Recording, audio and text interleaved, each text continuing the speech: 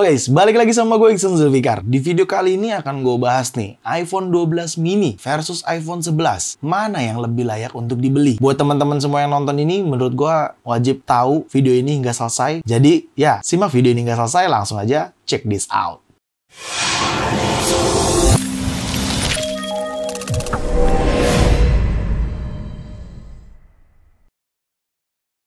Ya, iPhone 12 mini versus iPhone 11. Kedua HP yang sangat membingungkan ketika lu dipertemukan antara beda satu generasi aja, tapi cukup bingung karena beberapa kelebihan dan kekurangannya sama-sama dimiliki keduanya. Mulai dari spesifikasi terlebih dahulu akan gue bahas di video ini. Varian warna. Kedua iPhone ini sama-sama base model atau basic model, di mana varian warnanya tentunya sama-sama lengkap. Ya, 12 mini gue anggap seperti iPhone 12 lah ya. Hanya saja kan itu cuma ukuran aja, makanya disebutnya mini. iPhone 12 mini memiliki 6 varian warna, mulai dari purple, blue, green, red, white, dan black. iPhone 11 juga sama, memiliki 6 varian warna, tetapi tone warnanya sedikit berbeda. Purple juga ada, tapi tone warnanya dengan iPhone 12 berbeda purple-nya. Lalu iPhone 11 juga memiliki varian warna yellow, adanya warna green, ya sama-sama green, 12 mini juga punya warna green, tapi beda tone warnanya. Dan adanya juga warna black, white, dan red. Ya, untuk varian warna, kedua iPhone ini sama-sama memiliki 6 varian warna, meskipun tonnya berbeda sedikit banget di beberapa warna, karena beberapa warnanya ada kesamaan, tapi ya cara ton warnanya berbeda. Lalu untuk display ukuran, wah ini sangat berbeda jauh nih antara iPhone 11 dengan 12 mini. Ya jelas lah, iPhone 11 ini kan sudah lebih dulu dirilis daripada iPhone 12 mini, yang setelah generasi iPhone 11 penerusnya 12 series ini, dirilislah iPhone 12 mini. Displaynya, iPhone 11 masih menggunakan Liquid Retina HD display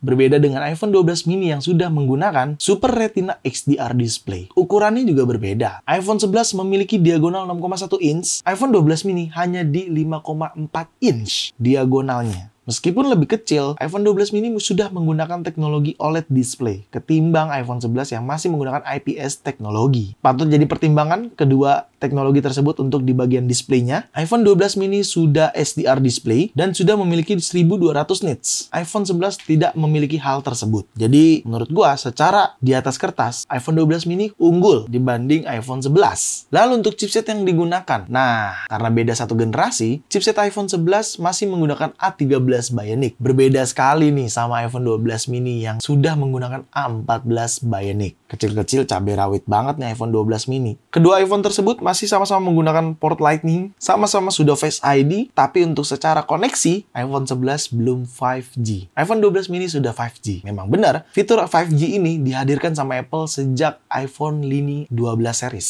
Hingga paling terbaru tentunya, iPhone 11 belum kebagian. Dan Make MagSafe. iPhone 11 hanya mendukung wireless charger aja cuy. MagSafe-nya belum kebagian. MagSafe start dari iPhone 12 series. Jadi patut pertimbangan tuh buat teman-teman ketika bingung membeli kedua iPhone ini. Lalu untuk kapasitas memori RAM-nya, sama-sama mendukung di 4 GB RAM, baik iPhone 12 mini ataupun iPhone 11. Tapi untuk kapasitas baterainya, iPhone 11 unggul cuy. Karena memiliki 3110 mAh berbanding terbalik iPhone 12 mini. Cuman di 2227 mAh saja. Namanya juga iPhone mini lebih kecil. Tentunya baterainya jauh lebih kecil. Lalu, kedua iPhone ini masih sama-sama menggunakan dual sistem kamera, tapi secara spesifikasi nggak terlalu jauh beda. Sama-sama menggunakan 12 megapiksel kamera, di mana untuk main dan ultrawide kameranya. Di atas kertas hanya yang membedakan Smart SDR 3 for photo aja, yang mengunggulkan iPhone 12 mini ketimbang iPhone 11. Lalu untuk record videonya gimana? Sama-sama mendukung 4K di 60 fps juga, hanya saja iPhone 12 mini lebih unggul karena memiliki HDR video recording dan tentunya night mode time lapse. Ya untuk hasil foto, kalian bisa lihat di situ antara iPhone 11 dan iPhone 12 mini. Kalau gue pribadi jujur, baik hasil foto atau hasil video yang kalian bisa lihat itu jauh lebih unggul iPhone 12 mini ketimbang iPhone 11. Ya wajar, iPhone 12 mini kan penerus iPhone 11. Cuman seri mininya aja. Secara kategori, iPhone 12 series penerus dari iPhone 11. Lalu untuk kamera depannya, sama fiturnya, sama-sama di 12 megapiksel juga. Hanya saja iPhone 12 mini lagi-lagi unggul karena memiliki diffusion dan night mode untuk kamera depan. iPhone 11 belum ada. Dan kalian bisa lihat juga di situ untuk hasil kamera depannya gimana.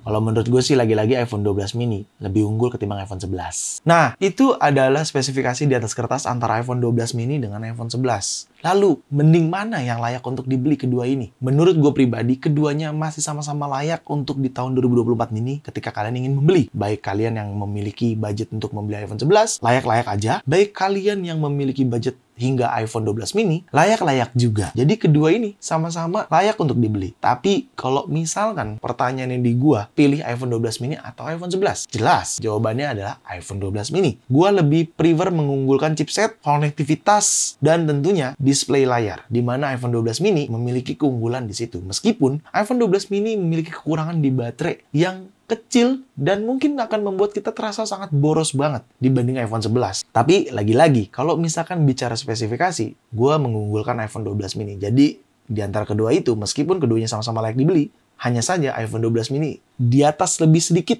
lebih layak untuk dibeli ketimbang iPhone 11. Jadi buat teman-teman yang masih bingung, iPhone 11 atau iPhone 12 mini ya bang? Gue pribadi iPhone 12 mini. Tapi perlu digarisbawahi, jangan memaksakan cuy. Kalau budget lu cukup untuk iPhone 11, nggak apa-apa juga, masih layak untuk dibeli. Tapi kalau misalkan kalian memiliki budget lebih yang cukup untuk membeli 12 mini, ya better beli iPhone 12 mini sekalian, atau bahkan di atas itu.